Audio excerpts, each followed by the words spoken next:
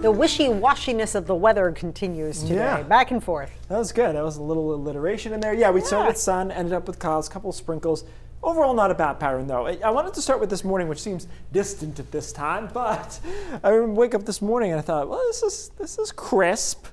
40s, Fryeburg, 36 in Berlin. We're going to see more of that later in the week. We'll talk about it in a second. But we recovered, got to the upper 60s, low 70s. One of the hallmarks of fall weather, at least the way we picture it, the, the ideal fall weather, is those huge diurnal swings from chilly mornings to comfortable to almost warm afternoons. Today had that. We also started to cloud up in the afternoon, we've got some showers out there. Sprinkles really over southern Maine. Some slightly heavier stuff here into the mountains north of Rangeley, but even there, it's not uh, you know downpour activity. This line of showers will persist over the next few hours, slowly shifting eastward. Bangor could get into several showers here overnight tonight. Most of us, though, will end up dry. And we start tomorrow morning, and this model is, I think, fairly optimistic that we won't have any sprinkles along the coast. I think there's a chance for a brief shower in the morning along the coastline. The farther north you get, the nicer it'll be, though. Sunshine right from the beginning. Bangor points northward. And then we start clearing such that even the coast should clear out by about one or two, uh, I think, in most spots, and see some sunshine through the rest of the day. Temperatures upper 60s, some low 70s, really pleasant. Cool, uh, but quiet overnight tomorrow night. And then Wednesday is largely dry. There's an isolated mountaintop sprinkle, but I didn't put that in the forecast. I think it'll be very isolated.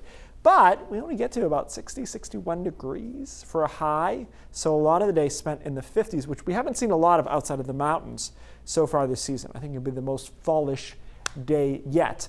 Now, our overall pattern is this upper level low. So we get a chance for showers coming back in on Wednesday night and again on Thursday afternoon. And it's just because the instability provided by an upper level low. Upper level lows are not killers. You're not going to have four days of heavy rain or really any heavy rain, but you're going to see a chance for showers whenever this upper level low is around. So that's how our week really kind of looks. Good news this is Sam. Here's the good news follow the yellow brick road, follow the lines, and the models have uh, really agreed that this thing is not going to hit the East Coast, which is good. Because synoptically, it looked like it had a chance last week.